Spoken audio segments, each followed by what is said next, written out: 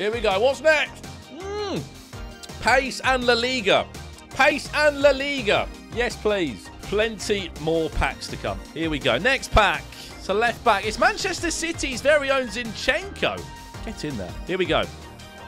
Another pack. Belgium goalkeeper. Oh, it's going to be Mignolet. Different pack animation, isn't it? What else do we get? Striker. Oh, Muriel. I don't know where he's playing now. Is that Besiktas?